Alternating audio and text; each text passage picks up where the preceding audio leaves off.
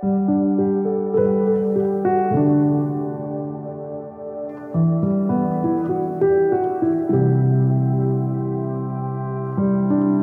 name is uh, Dorothy Kumboka. I'm in charge of counseling and uh, whenever the directors are away, I'm in charge of uh, overseeing how things are going on in the ministry. Uh, with Mercy Ministries, we have other ministries underneath it. We have uh, the Mercy Baptist Church that meets here every Sunday and on Wednesdays. Uh, we do have the Mercy Christian Academy that uh, hosts parts of the Mercy Children's Home Kids and uh, some from our communities. And uh, we also have the Mercy Secondary School. So we call it Mercy Christian Academy, but it's the high school that we recently built and uh, it's not complete. We only have two, four classes down there and we're hoping to have more classes come next year.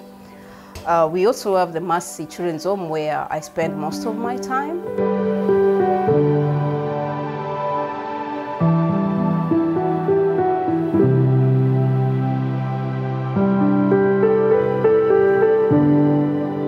What really motivates me is uh, seeing that change in a child over time because change is not acquired in a day. It takes time for you to see something changing. So whenever we go into the community and uh, bring in kids to our ministry and uh, when we sit back and look at those kids and see the transition from where they were and where they are and where we hope them to be, that gives me joy. That is why I wake up each morning and want to serve the children, the children at Mercy Home and in our community.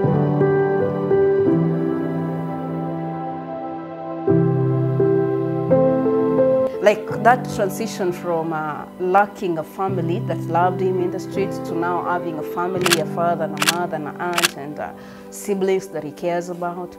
So when uh, you see such a kind of uh, a boy who comes back and uh, sees the value in a family, uh, you realize that without a strong family, then you cannot have kids that you can take care of.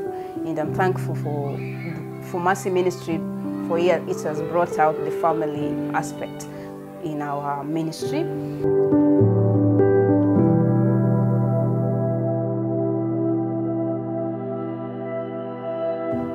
The greatest thing that I've uh, gained from Mercy Ministry is uh, the gospel. Uh, before I joined Mercy Ministry, I had gone to a number of churches and um, I don't know why I was hopping from one church to another. By then, I can't say I was a Christian or I'd been saved. I didn't really understand what being saved was then. But ever since I joined a Mercy Ministry, I started having the question like, what is the gospel? What do I want to do with my life? What does God want me to do with my life? Most of the time, it was uh, me asking the question like, what do I have to do about this? Instead of asking, what does God want me to do with my life? Mercy Ministry has impacted our community in a number of ways. Um, we do feeding programs for our community and uh, we build houses for widows and families that didn't have a home to go back to. Uh, we have uh, helped other kids go to other schools. It's not only based on uh, bringing kids into the Mercy Ministry. We do support kids attend other schools that is not Mercy Christian Academy. Each Friday we do send uh, diapers, diapers to the NICU where we assist mothers who have given birth to kids and, and uh, struggling with a number of needs at the hospital. And uh, that has also opened a way of ministering because we do not only send diapers to them, we attach a Bible track for them to read and give them hope and uh, to encourage them to keep trusting God. Having been here at Mercy Ministry for the last three years, I've uh, seen a tremendous change in uh, how we have been able to impact a number of kids.